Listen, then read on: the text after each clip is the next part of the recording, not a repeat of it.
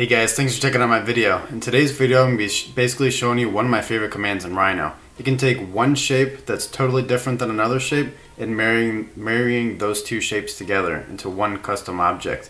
It's a pretty cool command. Let's check it out. So for this example, I've got a rectangular tube connecting, and I want to connect to a cylindrical tube. Now how would I do that? Um, in today's example, I'll be showing you the loft command and um, how a loft command works is it'll take a closed polyline or closed curve and it can basically extrude and kind of create the best path forward to connecting it to another curve. And for this example, I'm just to be taking two shapes. So to do so, I'm just going to start a polyline. On this rectangular tube and make sure it's closed. And on the end of this cylindrical tube, the curve is already closed, so I don't have to draw an extra curve around it. Um, but if I type in loft, and then if I select that polyline that I just drew, and then if I select my other one, the extrusion edge of the cylinder, press enter, it will bring up a drop down menu for the loft options and most often I'll just keep it at normal but you can select different options here and it'll give you different parameters to play with. Um, an important note to see here is that I'm clicking do not simplify. That basically means that it's keeping within the square and the circle and then it's creating the best path between the two.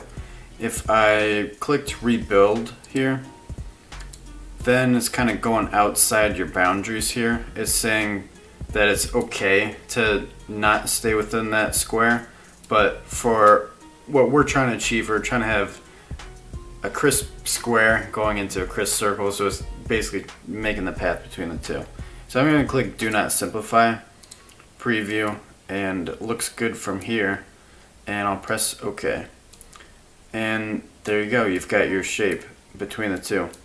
Um, but then one thing to note with the loft command is it'll create an open surface and um, so if I pull up the properties it says open poly surface here. To make that a closed poly surface you just want to type in cap and that will make it a closed poly surface. Basically means that it's just putting a cap between both sides of those two. And there you have it there you have it. You've got closed extrusion closed poly surface closed extrusion and then if you go into rendered view you'll kind of see that they're all matching up with one another. Here's that extra curve that I drew that we don't need anymore. Um, but this can be really helpful if say you're modeling some duct work in a building or say you've got an exhaust system for um, underneath a car you can kind of create two unlike objects and create a union between them.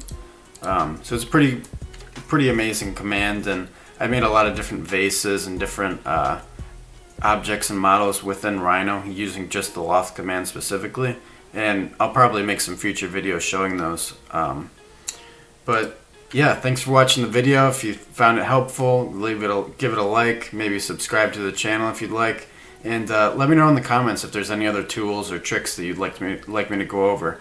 Thanks guys